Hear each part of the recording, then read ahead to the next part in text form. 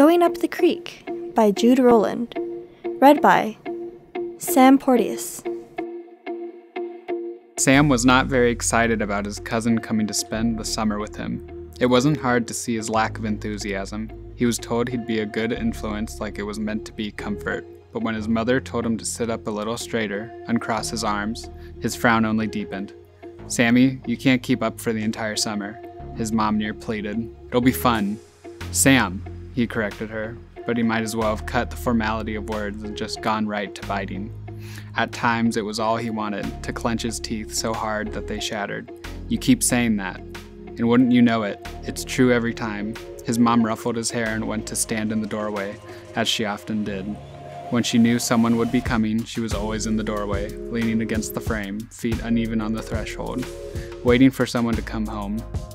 Sure enough, Noah came bounding up the path, he wore a shirt that proclaimed an affinity for his favorite video game, or so Sam's mother had told him it was Noah's favorite. He'd hardly spent any time with Noah, and he was not about to be the one to start. His mom stretched her arms out for him, though, and he ran into them like a lost puppy, as if Noah remembered her, like he'd seen her since he was a little baby. You've gotten so big, she laughed as he nodded in agreement. At eight years, he was getting a little big for all the picking up and carrying, but he was still small for his age. Sam remembered being bigger, at least. He slinked over to stand distantly behind his mom, but he kept his arms well folded and his brow well furrowed. Noah peered at Sam from over his mother's shoulder. His brown eyes were round and soft. Sam raised his lip, baring his sharp canine tooth. Noah gasped. Hi, Sammy. He wiggled out of his aunt's arms. She was probably about to let him go anyway, and she let him bound over to see his cousin. Sam recoiled, bending out of the way of Noah's path. This was the person who was going to be in his dad's old office, sleeping in that room like it was his own. Despite Sam's coldness, Noah wasn't shaken. Sam looked him over, making sure to be thorough about it. He had wavy, messy brown hair, a lot like his own, when he was Noah's age.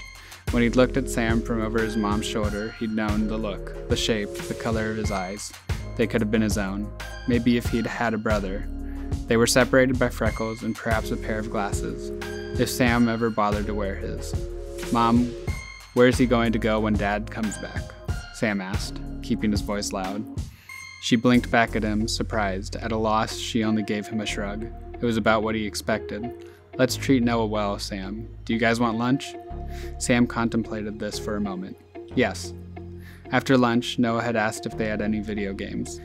At his mother's behest, Sam had said yes and showed him where they were. He picked out a game and told Noah, This is the best. Then can we play? He asked, like he was asking on purpose. If he frowned a moment more, his dad would have warned him that his face would get stuck that way. I'm going to be player one. Noah didn't take any issue with it. He only picked up a controller, let Sam tag in, and then tried to get his own remote working. When the little lights inside failed to respond, he turned it upside down, as if it would reveal all its secrets. Sammy, it's not working, he said. It won't turn on. Another frown. Sam took the controller and, just as Noah had, turned it over in his hands. It felt too light. It doesn't have any batteries, he reported, certainly not in a way that implied he was going to do anything about it. After all, it was because of him that the remote had no batteries in the first place. When his mother had suggested they'd be able to play games together, it seemed the only solution. Oh, Noah deflated. Do you have any batteries? Sam put his remote down. Despite the millions of copies of the game that existed and were played every day, Sam had only played the game with his best friend and his dad. It was too close to play. It was too close to play with Noah. I don't want to play anymore. That's okay, I can go get the batteries, Noah said. Just tell me where they are. I said I don't know, Sam said. He leaned forward and turned the console off. He tilted back into his cross legged seat and kept himself very still. Noah stood up, full of purpose. In the short amount of time he'd been there, Sam had found he was often full of purpose. I'll find them, he puffed out his chest, but we can play something else. Sam didn't bother to get up and watch him go down the hall or root around in the kitchen drawers, but he heard it well enough from where he sat. A few moments later, Noah came careening around the doorway, slipping onto his bottom on the carpet, right next to Sam. A little too close.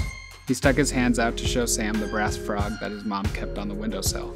Look, he proclaimed, the frog. I'm looking, Sam said. He was 13, a little too old to be excited by his mother's decorations. It is definitely a frog. No, it's real, he said, enough confidence to blow the snowpack off a mountain. Not this one. I mean gold frogs and creeks and rivers and stuff. I've seen them before. Sam rolled his eyes. Eight year olds were prone to lies, he'd read on the internet. But still, he said, maybe you've got golden frogs in California, but not here. Here, Noah insisted. I mean, I haven't seen them here, but I know they're here. They're anywhere if you know where to look for them. Sam scoffed. He looked from the stupid little frog to his stupid little cousin. He brought his knees to his chest and wrapped his arms around them, head turned away. Just go away, Noah. I don't want you here. Noah's round eyes bore into him. I can show you, really, we can go find one. He slipped his small fingers around Sam's upper arm and pulled as hard as he could, which was not very hard at all, but he still managed to rock Sam just enough. His head whipped around as he took in a sharp, angry breath. If he took Noah out to the woods, maybe he'd get a thorn cut in his foot and he'd want to go home, or at the very least, never try to get Sam to play with him ever again. If he didn't go, then Noah would never shut up about the frogs. Sam bit the inside of his cheek. He let his face soften. Okay, but then you'll leave me alone for the rest of the time you're here. Maybe, Noah said, wicked smile on his small face. He sprang up, waiting for Sam to get to his feet before dashing back to the kitchen and putting the frog back. He sprang up, waiting for Sam to get to his feet before dashing back to the kitchen and putting the frog back, just so. While he worked on preserving the integrity of his aunt's amphibious display, Sam climbed the staircase to his mother's room. He pushed open the door as quietly as he could. If she didn't hear him leave, would she notice that he was gone?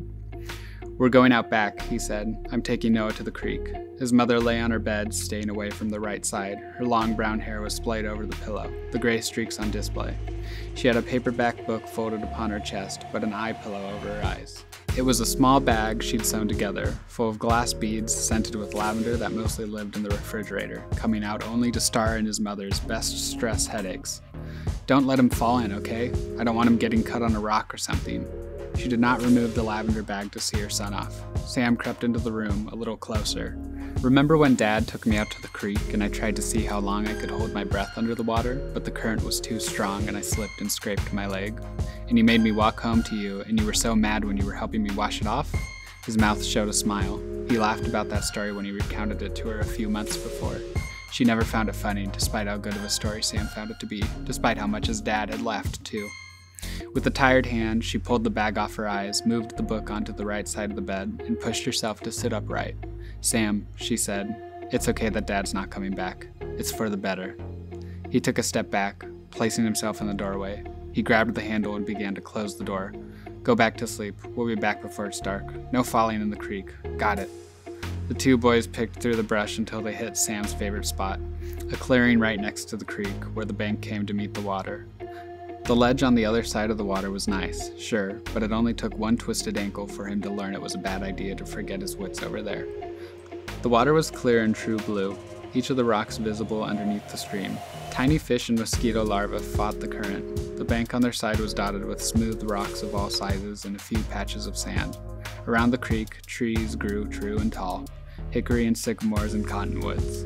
It took Noah hardly any time at all to get right down to business. He flipped rocks, poked at the sand with sticks, and pressed into logs with his well worn sneakers. Good luck, Sam told him. Noah looked at him and nodded with a wide smile. He was missing one of his teeth on the left side. Another was growing and ugly. Sat down right on the bank and got to work rolling up his jeans as high as he could get them. He pushed his shoes off and stuffed his socks inside of them. Without a moment's hesitation, he waded into the creek. The cold water rushed around his feet, and he found himself smack in the middle of it, wet up to his thighs despite the water only passing up just below his knees. Somehow, Noah's jeans were already soaked.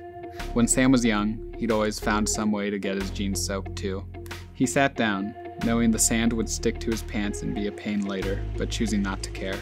He rested his elbows on his knees. His gaze fell to the side, to a few rocks that held onto the moisture of the creek despite having been baked by the sunshine all day long. Half heartedly, on a chance, he turned one over. A spider ran out from underneath and scuttled into the thicket. Did you see anything good? Noah asked. Sam turned his head up to look at him. The sun caught his soft brown hair, summer and excitement, bringing a pink tinge to his nose and cheeks. He gave his younger cousin a smile, earnestly this time. Just a spider, he said. I honestly don't know if I've ever seen a frog around here before. A few salamanders, maybe, if I was lucky. You just gotta give it time, Noah assured him. His face looked as if Sam had told him of some terrible tragedy of his life. He might as well have. Still, he smiled, like he was the only one who could cheer Sam up after such a thing. You'll be catching all the frogs in the creek in no time. Then, very seriously, You let them go, right? He nodded. Of course I did. Good. Noah turned his attention back to the water. He turned over rock after rock, sending streams of sediment down the flow of the creek. Despite all his pushing and okay. Despite all his pushing and shoving, the water still did not turn cloudy, whisking all his troubles away in the cold current. A sharp gasp, Noah plunged his hand into the stream and pulled it out just as fast. He waddled over to Sam. Sam peered over his closed fist, watching with intent as fingers uncurled to reveal a tiny brown frog. Sam recognized it from one of his wildlife guidebooks as an upland chorus frog. Not gold, Sam noted. Not gold, Noah agreed. But look, it's a frog. Sam looked from the frog to his cousin and back to the frog. It looked so small, even in Noah's small hand, and so dark against his pale palm. The frog turned in place. Its bulging black eyes met Sam's face. In the blink of an eye, it turned and hopped away, back to the creek to be whisked away in the current. He couldn't help but smile. It sure is, he said. You ought to get back in there if you want to find a gold one, though. Noah nodded dutifully. If there was in fact a gold frog anywhere in that creek, it was going to be Noah who found it. He shoveled back into the water, making his way past the center and towards the ledge, toward the deepest part of the water. It wouldn't reach too high up, and his mom had said that Noah knew how to swim, that he was a strong swimmer. Still, Sam bit the inside of his cheek. He'd known how to swim too when he'd come with his dad. Be careful over there, he warned. I scraped my leg really bad over there before. I don't want you to get hurt. His cousin turned to give him a thumbs up. Sam wouldn't have listened to the same warning when he was eight. But here was Noah, a smile on his face, soaking wet denim sticking to his skinny legs. A fly buzzed around Sam's head. He waved his hand around, but the fly was unconvinced. He grit his teeth. The fly landed in his hair, making Sam shake his head around like a dog out of the bath. He swatted at it when he saw it take flight again. It flew away, seeming to have had enough. Sam turned his attention back to Noah, who was still standing, safe, watching the water, turning over rocks. Sam gave a sigh of relief. It was too dangerous for Noah to not be even in the corner of his eye. The sun was considerably lower than it had been when they got there. Sam watched the sky for a moment, then took a moment to feel the breeze. Noah, the sun's gonna go down soon. You ready to come out? The frog, he said. I know, the frog, he said, but I told Mom we'd be back before it got dark. Five more minutes, Noah pleaded in the way young children did, where they thought five more minutes might grant them another day's worth of time. Sam agreed, reluctantly. Okay, but I'm not putting the itch cream on your bug bites.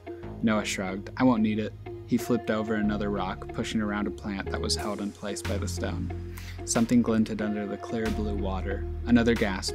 Noah reached with his arm, then his shoulder, then his chest. He was soaking wet, but in a heartbeat he came up and went as fast as he could against the water. His fist closed, tight but not too tight. He waddled up to Sam, fighting his stiff jeans, and fell to his knees beside him. His fingers uncurled. In the palm of his hand, sure enough, was a small golden frog, no bigger than the last one, but no smaller either. It was brilliant, its honeyed hide catched the sweet rays of the early summer sun. Sam couldn't find his words. He opened his mouth, but when nothing came, he closed it again with care. Just like I told you, Noah said, real. Real, Sam echoed. It was real. As real as he or Noah. He was almost scared to breathe, as if the intake of air would be too loud and scare the small thing away. He took Noah's cold, wet hands in his own, cupping his palms underneath Noah's like the tiny little frog was too heavy for him to hold up on his own. Noah's fingers were so gentle, he had to keep them safe. He almost couldn't take how much bigger his hands were. The frog hopped away. The two boys were quiet for a minute in its wake. You did it. I did it, Noah said, proud as ever, full of purpose. This is a good creek spot, Sammy. We should come back tomorrow. Suddenly, Sam didn't want to leave. What do you think your mom is making for dinner? Noah asked, sitting down beside Sam, unrolling his heavy jeans and shoving his socks back onto his soggy, sandy feet, like he didn't know the enormity of what he'd found. After dinner, it didn't take too long for Noah to get tired, and then not much longer still for him to get ready for bed and to be tucked in by his aunt. Sam didn't get put to bed like that anymore. It was unbecoming of an upcoming high schooler, after all.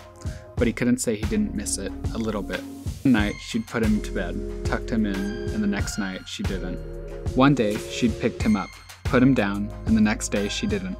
One morning, she'd left a note in his lunchbox, tucked between the sandwich and the ice pack, and the next morning, she didn't. It was almost too much for Sam to bear. She let him stay up until his usual hour, watching television next to her on the couch. He didn't care for the show, and to his memory, she didn't either. But it was something to watch. That was how it usually was, how it had been. He'd been so excited the first time she let him go to the creek alone, with just his friends, no grown ups around. Something was different now. And when he was in bed, he found that for the first night in many nights, he couldn't sleep. He squirmed under the covers onto his left side. Maybe his dad would open the front door at any second. He rolled over onto his right side, pressing his face into the pillow. Maybe Sam didn't want him to come back. His leg itched. He plucked his pillow from his bed, made his way down the hall, and knocked on his mother's door. He pushed it open to find her reading a book with her lamp on, the eye pillow nowhere to be seen. Her hair was pulled back away from her face, tucked into a half hearted bun. Against the lamplight, he could see the lines forming next to her eyes and around her mouth. She looked up to see him, and her face softened. Quietly, he asked, Mom, can I sleep with you tonight?